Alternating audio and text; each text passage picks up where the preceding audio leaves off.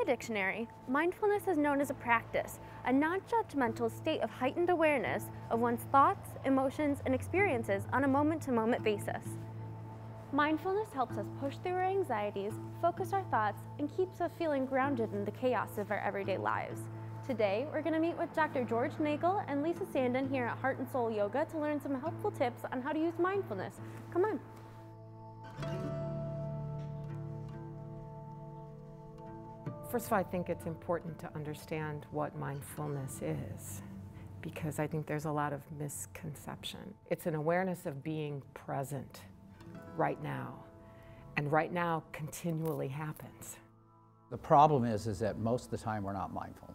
To be mindful is, is to be intentional, being present, being present to my experience as it shows up in my thoughts, my feelings, my body, however it shows up for me, and being present to that.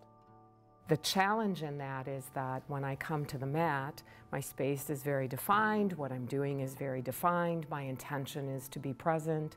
I'm leading the class or someone's leading me or I'm in my own practice. That's a very different experience than being mindful off the mat, out in the world.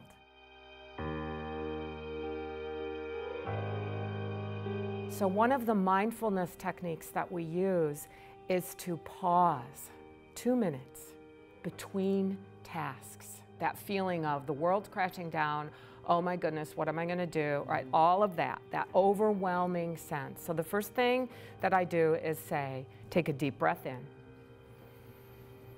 Extend your exhale. Usually I set up the ratio of inhale to the count of four, exhale to the count of six.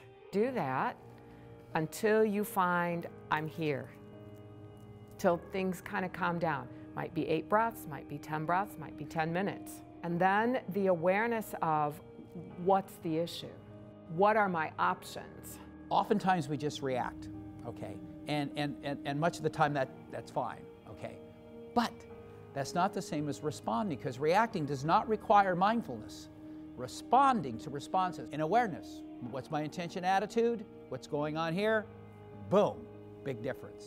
The reason that I become reactive is I think I don't have any choices. I'm going to breathe. I'm going to recognize the issue and I'm going to choose how I respond. The trick is that when you're in crisis to really notice how helpful those tools are so that when the crisis has diminished, that you continue to use those tools. So much of what we do is on automatic pilot. So much of what we do is out of patterns of reactivity, out of habit, with a limited range of choices that they provide. How do I start my day? How do I finish my day? Anytime I catch myself being mindless, a moment of mindfulness. The moment you stop and ask that question, you know, you have just entered into a mindful moment. We feel really strongly about what we do, but I feel like this can really serve people. Your techniques to become more mindful will be sure to help.